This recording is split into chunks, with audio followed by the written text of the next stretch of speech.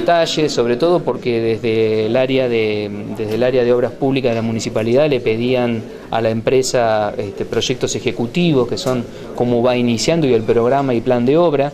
Presentaron programas parciales de acuerdo a cada uno de los tramos de la calle Mitre.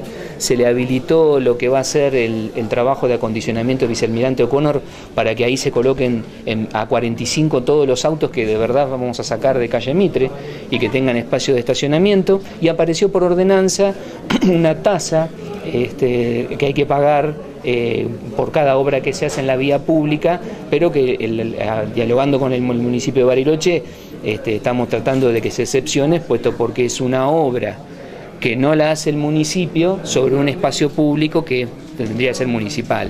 Entonces, ya que hacemos, exacto, ya que hacemos semejante inversión, este, por supuesto esa, esa tasa corresponde pagarla cada vez que la provincia haga sobre espacio provincial.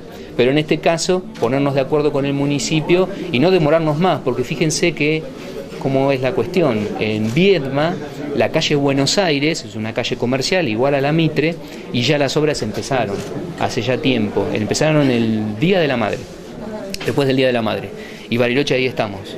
Este, ya, ya va a arrancar, ya va a arrancar y necesitamos que sea cuanto antes porque, se, porque si no se nos viene el invierno del 2016 y ahí este, vamos a pedirle siempre a todos los barilochenses tolerancia, este, paciencia, se va a cortar toda la calle Mitre, se van a dejar este, la circulación de los vehículos solo de las transversales, eh, va a ser una obra este, que, bueno, que, lo, que, contamos con el apoyo de todos los frentistas, pero una vez que finalice va a ser la calle Mitre que tanto deseamos. Probablemente ocurrirá en plena temporada de verano, ¿no? Totalmente, es que pensamos obviamente que esta temporada de verano iba a ser la del sacrificio de la calle Mitre, este, pero bueno, ese sacrificio vale la pena.